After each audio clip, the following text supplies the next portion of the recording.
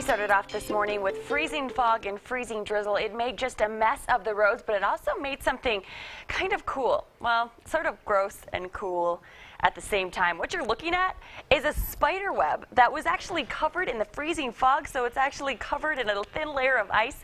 Again, sort of gross but also fascinating to look at at the same time. Check out this time lapse taken from the top of Pikes Peak. What looks like water is actually the top of the cloud layer that had us socked in in wintry weather for much of the day across the lower elevations, complete with the moonrise there at the end. Pikes Peak didn't get much in the way of snow, but we certainly did.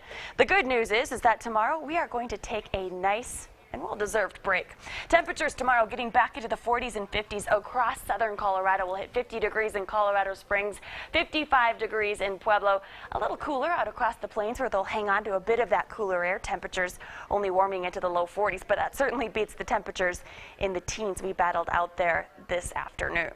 Now, we are going to be tracking changes, but they won't move in until tomorrow night. So enjoy the sunshine tomorrow because our next storm system moves in Thursday night into Friday morning. We basically get a repeat of what we saw this morning.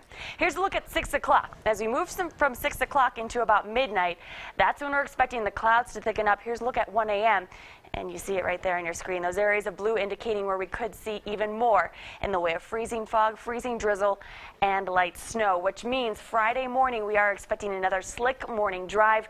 Snow accumulations once again remaining under an inch, but just like we saw this morning, it's that freezing drizzle that really ices up the roads, causes some big problems. So tomorrow you should have a much easier drive into and home from work, but Friday morning it's going to be a slow go, so plan on leaving early now. Friday, we're also going to get some much colder air. Temperatures drop to 27 degrees before we spend the weekend in the 40s. The weekend actually looking very nice before our next storm system moves in Tuesday afternoon, bringing yet another chance for snow to the Pikes Peak region. In Pueblo, 55 degrees tomorrow. Enjoy it. More sunshine until those clouds build tomorrow night. 29 degrees with a chance for that freezing drizzle and light snow in the morning. 40s over the weekend, though, before we fall into the 30s Monday and Tuesday once again. Cañon City tomorrow, 50. 56.